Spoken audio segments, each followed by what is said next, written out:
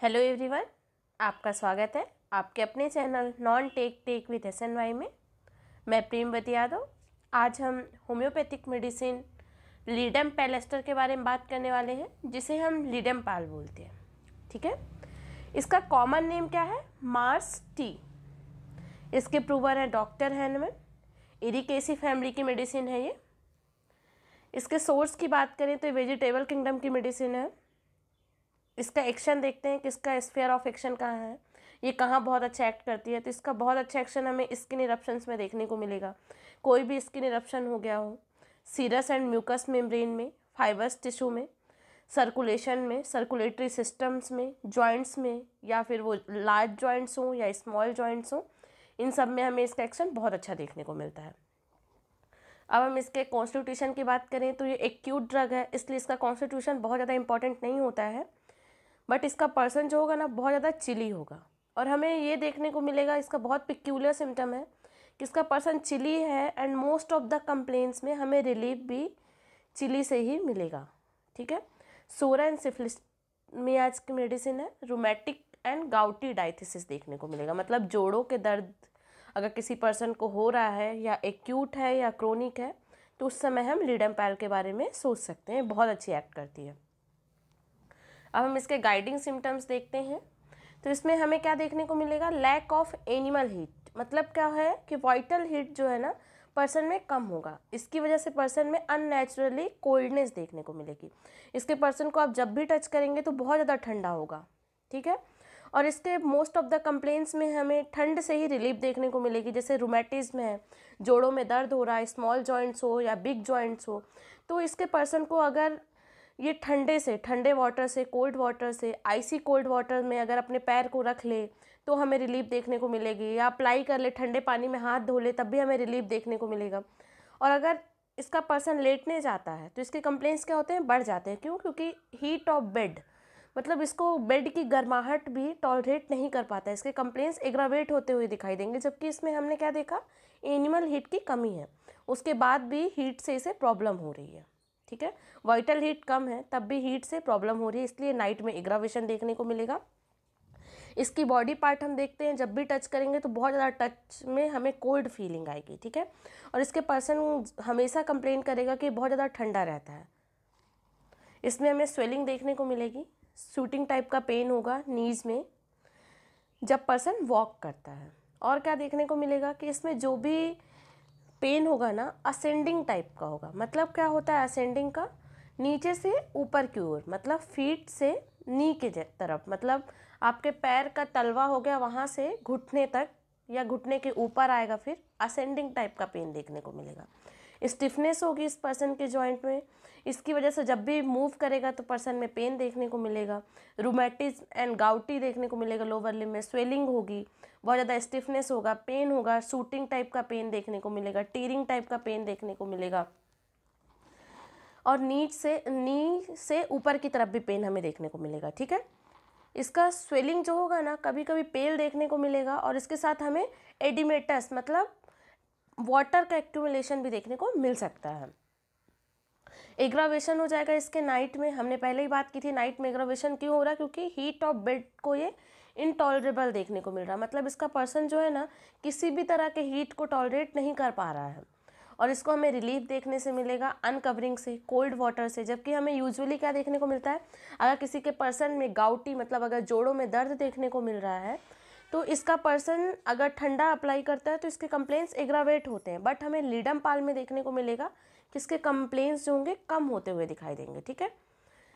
अगर इस अगर किसी पर्सन में बर्न हो गया हो बर्न के बाद इरप्शंस रह गए हों, और अगर स्टिंग बाइट हो गया हो, जैसे चूहे ने बाइट कर दिया हो, किसी वजह से इंजरी हो गई हो, तब भी हम लीडम पाल से ट्रीट कर सकते हैं, बहुत अच्छा एक्ट करती है।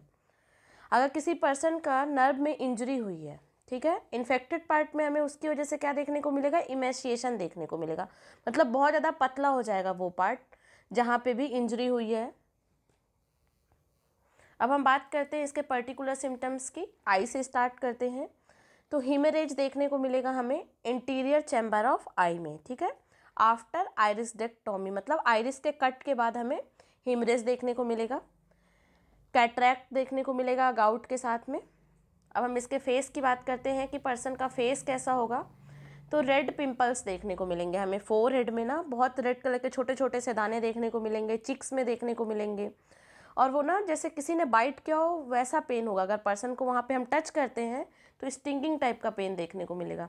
क्रस्टी इरप्शंस देखने को मिलेंगे। यहाँ पे माउथ के पास अराउंड नोज़ के पास हमें वो भी रेड कलर के दिखाई देंगे हमें। अब हम इंजरी की बात करते हैं तो इसका बहुत ज़्यादा यूज़ किया जाता है इंजरी में। किसी भी तरह की इंजरी हो, अगर किसी पर्सन को साफ़ इंस्ट्रूमेंट की वजह से इंजरी हो गया हो, किसी चूहे ने बाइट कर दिया हो मॉस्किटो बाइट हो, तब भी हम इस मेडिसिन के बारे में सोच सकते हैं, या इंजरी कहीं पे भी देखने को मिल सकती है हमें बॉडी में, ठीक है? इनफैक्ट हमें इंटरनल हेमरेज भी देखने को मिल सकता है आई से एंटीरियर चैम्बर से आफ्टर आयरिसेक्टोमी तब भी हम इस मेडिसिन के बारे में सोच सकते हैं। Contusion of eye and eyelids देखने को मिलेगा हमें, एक्स्ट्रावेशन ऑफ़ ब्लड देखने को मिलेगा। इसकी वजह से लीड्स में ना एकाईमोसिस देखने को मिलेगा एंड कंजक्टिवा। अब हम इसके सेंसेशन की बात करते हैं तो जैसे बहुत ज़्यादा चोट लगा हो ब्रूज एंड बिटन सेंसेशन देखने को मिलेगा, ठीक है? जैसे उसे मारा जा रहा हो। और पेन का कैरेक्टर कैसा होगा? Sticking tearing and throbbing type का पेन देखने को मिलेगा। और उसका एंकल जो है ना स्प्रेन हो गया हो। मतलब क्या होता है कि जैसे मोच आ गई हो और वो गिर गया हो फॉल स्टेप वैसा पेन हमें देखने को मिलेगा। अब हम इसके एग्रावेशन की बात करते हैं तो मोशन से नाइट में वार्म अप बेड की वजह से कवरिंग से, इसमें हमें कंप्लेंट्स एग्रावेट होते हुए दिखाई देंगे। हम एम्ब्ल्यूरेशन की बात करते हैं कि पर्सन को अच्छा कब लगेगा? अप्लाइंग आइसी कोल्ड वाटर मतलब अगर वो कहीं पे भी इफ़ेक्टेड पार्ट है, वहाँ पे ठंडे पानी को अप्लाई कर ले तो इसमें हमें रिलीफ देखने को मिलता है। अब हम इसके स्किन की बात करते हैं तो स्किन में किसी भी तरह की इंजरी हो गई हो, या लॉस ऑफ़ वाइटल फ्लूड की वजह से स्किन में अगर कोई प्रॉब्लम देखने को मिल रही हो, तब हम इस मेडिसिन के बारे में सोच सकते हैं। अब हम इसके लोकेशन की बात करें तो हमें पूरे बॉडी में भी देखने को मिल सकता है। और एकने की बात करें तो एकने हमें स्पेशली फोर हेड में देखने को मिलेगा। फेस में एक्जिमा देखने को भी मिल सकता है। फीट एंड एंकल्स में ईचिंग होगी। और इस पर्सन को ना ब्रूस्ड एंड बीटन सेंसेशन देखने को मिलेगा। पेन ना stitching tearing and throbbing type का होगा। और इसका एंकल जो है ना, जैसे मुड़ गया हो, इतना ज़्यादा पेन होगा और बहुत ज़्यादा इस पर्सन में कंप्लेन देखने को मिलेगी कि तुरंत तुरंत इसका एंकल जब पर्सन चल रहा होता है तो क्या होता है, मुड़ जाता है। उसकी वजह से पर्सन क्या हो जाता है, गिर भी जाता है। अब हम इसके एग्रावेशन की बात करें तो इसमें मोशन से नाइट में वार्म अप बेड से कवरिंग से और स्क्रैचिंग मतलब इसको ईचिंग हो रही थी तो इतना ज़्यादा ईच कर लिया कि स्क्रैच आ गए हों तो उससे इसमें हमें एग्रावेशन देखने को मिलेगा and amelioration icy cold water से एम्ल्यूरेशन देखने को मिलेगा। अब हम इसके रोमेटिज्म एंड गाउट का बात करते हैं। हमने पहले ही बात की थी कि इस, ये रोमेटिज्म एंड गाउटी डायथिसिस की मेडिसिन है। किसी भी तरह का जोड़ों का दर्द हो स्मॉल जॉइंट्स में या लार्ज जॉइंट्स में हमें पेन देखने को मिले, तब हम इस मेडिसिन के बारे में सोच सकते हैं। या तो तुरंत हुआ हो मतलब एक्यूट हो, या काफ़ी लंबे समय से किसी पर्सन में जोड़ों में दर्द देखने को मिल रहा है। जब वो चलता है तो कंप्लेंट्स बढ़ रही हूँ और बहुत ज़्यादा स्टिफनेस देखने को मिले लैमनेस देखने को मिले, तब हम इस मेडिसिन के बारे में सोच सकते हैं। और ये जोड़ों का दर्द जो हो रहा है ना, उसके साथ हमें स्टोन जैसा देखने को मिलेगा। और स्टोन फॉर्म किस वजह से हो रहा? एक्सेसिव सिक्रेशन हो यूरिक एसिड का और सोडियम बायूरेट या अदर क्रिस्टल्स का और उनका क्या हो रहा है? जमाव हो जा रहा है जोड़ों में। उसकी वजह से हमें स्टोन फॉर्म जैसा गाउट देखने को मिलेगा, ठीक है? Gouty stones. और इसमें सेंसेशन कैसा होगा? थ्रोबिंग टाइप का पेन देखने को मिलेगा, स्पेशली हमें लेफ़्ट शोल्डर में देखने को मिलेगा। और left shoulder and right hip, tearing pain होगा, स्टिचिंग पेन होगा, जो कि क्रॉस वाइज होगा। अगर लेफ़्ट में है तो राइट हिप में इधर देखने को मिलेगा left shoulder and right hip हम लोकेशन की बात करें तो इसका पेन जो है ना स्मॉल जॉइंट्स में भी देखने को मिल सकता है एंड लार्ज जॉइंट्स में भी। जैसे टोज हो गया फिंगर्स हो गए एंकल हो गया रिस्ट जॉइंट हो गए यहाँ पे पेन देखने को मिलेगा।